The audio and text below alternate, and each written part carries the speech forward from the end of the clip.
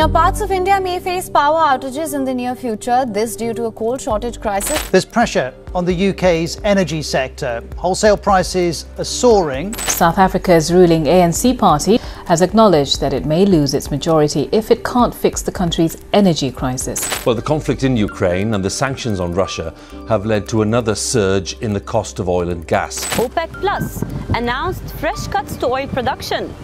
a move that caught everyone off guard.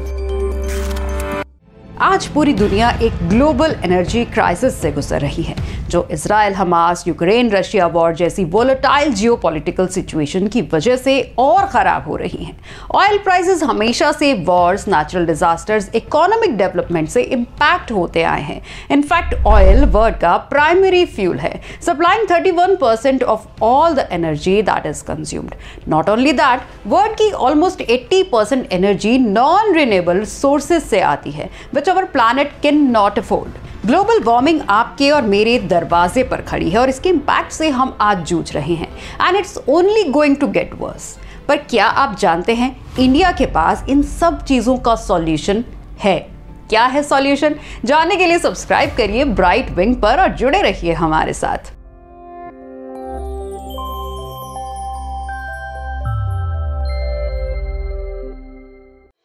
Well, India's superpower is the OG source of all energy on earth, the sun.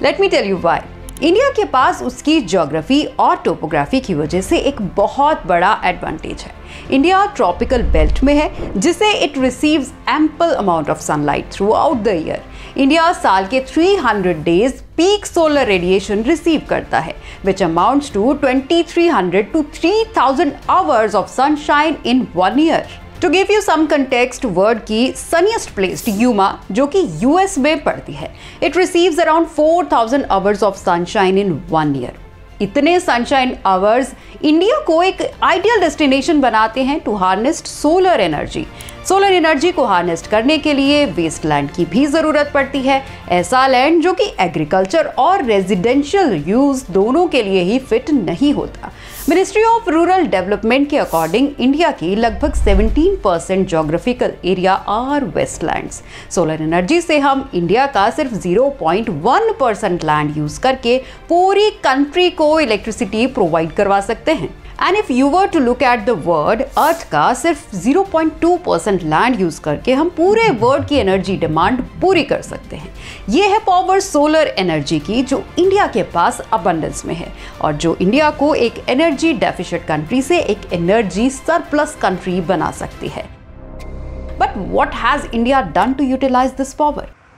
why are we at the top of our game India में पहली बार solar energy का discussion हुआ था 1961 में during the third five year plan 1960s was also the time जब solar energy का use हुआ था यूएस और सोवियत के स्पेस प्रोग्राम्स को पावर करने के लिए और 70s के ऑयल क्राइसिस के बाद the world was looking for alternative energy resource Today, in directly harnessing the power of the sun, we are taking the energy that God gave us and using it to replace our dwindling supplies of fossil fuels. But Indian government ने इस sector पर ध्यान नहीं दिया। Solar energy और उसकी implementation को पहली बार एड्रेस किया गया था सिक्स ईयर प्लान में for the year 1980 to 1985 India की रूरल एनर्जी डिमांड्स और इंडस्ट्रियल यूज़ के लिए, जिससे इंडिया में एक इंडिजीनियस सोलर मैन्युफैक्चरिंग सेक्टर आया, पर वो बहुत जल्द खत्म भी हो गया। अर्ली 2000 में चाइना के चीप इंपोर्टेड गुड्स की एंट्री से इंडियन मैन्युफैक्चरर्स compete नहीं कर पाए एंड और इंडस्ट्री बिकेम ऑब्सोलीट इंडिया का first real attempt to harness solar energy began in 2010 जब गवर्नमेंट ने लॉन्च किया था Jawaharlal Nehru national solar mission जिससे सोलर एनर्जी सेक्टर में growth I. But Indian companies continue to struggle India के biggest and oldest companies like Indo solar Moser Baer Tata solar power were in deep trouble 2013 में Indian solar manufacturing sector was on a verge of collapse solar developers of China और US से equipments import कराना prefer करते थे because they were way cheaper than Indian equipments सिर्फ़ वो developers जो खुद इक्विपमेंट मैन्युफैक्चर करते थे would buy their own equipments but आज की सिचुएशन काफ़ी डिफरेंट है. Even as the chief minister of Gujarat Modi was big on solar energy India का first solar park Charanka solar park was the brain child of P M Modi so when he took charge as India prime minister there was the push on solar power like never before in fact India Gujarat में world का largest solar farm बन रहा है which will be the size of Singapore This plant is going to generate 30 gigawatts of power, which is enough to power 20 million homes. And all of it will be absolute clean energy. But India सिर्फ खुद के लिए नहीं पर पूरे world को solar energy की तरफ ले जा रहा है पीएम मोदी के सबसे क्रूशियल इनिशिएटिव के through A global alliance to power the planet with solar energy. That's the idea France and India presented at the COP21 climate summit in Paris on Monday. It will create unlimited economic opportunities. That will be the foundation of the new economy of this century. PM Modi initiative international solar alliance France के साथ मिलकर start किया गया to efficiently use solar energy and reduce dependence on fossil fuels ये more than 120 sun rich countries का alliance है, जो कि tropic of cancer and tropic of capricorn के बीच में लोकेटेड है। This is the area which receives the maximum and the most consistent sunlight इस अलायंस का सबसे बड़ा इनिशिएटिव है one sun, one world, one grid, जिसका एम है to connect different regional solar power grids through a common grid जिससे energy transfer हो सके। But why a transitional grid अगर बांग्लादेश में दिन होगा तो ऑस्ट्रेलिया में रात होगी तो ऑस्ट्रेलिया बांग्लादेश से इस कॉमन ग्रिड के थ्रू पावर ले सकेगा, और इसकी शुरुआत करेंगे नेबरिंग कंट्रीज़ के साथ। इंडिया, भूटान, बांग्लादेश म्यांमार और नेपाल ऑलरेडी एक एनर्जी ट्रांसमिशन इंफ्रास्ट्रक्चर शेयर करते हैं।